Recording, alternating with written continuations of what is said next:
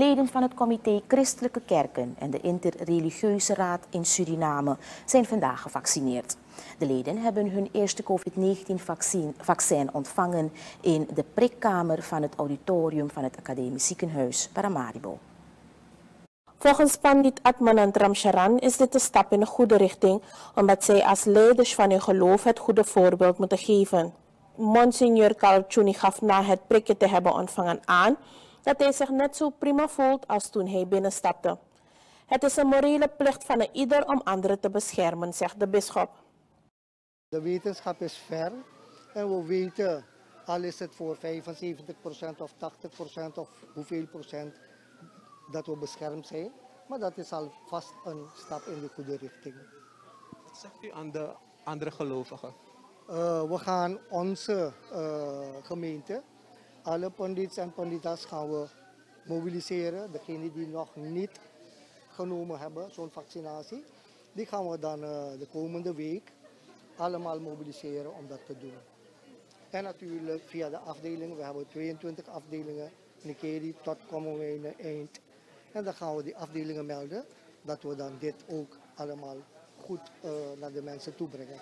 Je merkt helemaal niets dat, er, uh, dat je een prikje hebt gehad. Geen pijn, niks? Nee, helemaal geen pijn. En uh, net een muskutenbeet, verder niets. Niks, niets, nee. Ik denk dat het uh, morele plicht is, omdat uh, de verspreiding van dit virus gaat van mens op mens. En je kunt besmet zijn zonder het te weten, helemaal geen symptomen hebben, geen klachten.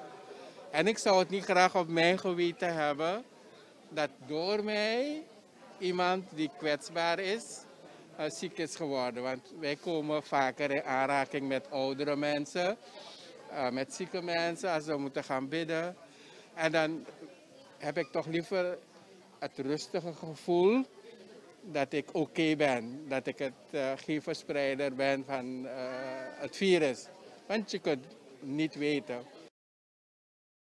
Chuni zegt verder dat de jongeren het als een morele plicht moeten beschouwen de ouderen in hun omgeving te beschermen. Robert Bipat, voorzitter van de Surinaamse Islamitische Vereniging, deed de oproep aan elke burger om zich te laten vaccineren. Maar als jong mens moet je dan ook aan jezelf vragen, afvragen van wat, hoe zou ik me voelen als door mij mijn oma of mijn opa uh, of een goede vriend die onderliggende klachten heeft besmet raakt en komt te uh, overlijden. Het is echt een morele plicht dat we het samen moeten doen. Aan de gelovigen. Uh, dat er geen godsdienstige uh, bezwaren zijn om je te laten vaccineren.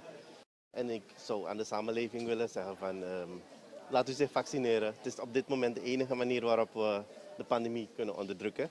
En um, ja, uh, als je luistert naar de bijwerkingen en alles uh, die daarmee gepaard gaan, dan is dat dus veel milder dan als je zelf besmet raakt en ergens in een ziekenhuis belandt uh, waar je beaamd moet worden en dat soort zaken. Dus ik zou zeggen, laat u zich vaccineren. Ja. Hoe brengt u dat ook in uw gemeente over? Ja, dat leg ik continu uit. En we willen allemaal weer op een normale manier terug naar de moskeeën, naar de tempels, naar de kerken, overal. Dus, um, en um, dit is de enige manier op dit moment die ons uh, kan garanderen om dat we binnen afzienbare tijd weer gewoon op de normale manier onze religieuze plichten kunnen voldoen. Robert Biepet, voorzitter van de Surinaamse Islamitische Vereniging en daarvoor monseigneur Karel Tjouni. Zij hebben zich allen als leiders van de verschillende religieuze groeperingen laten vaccineren.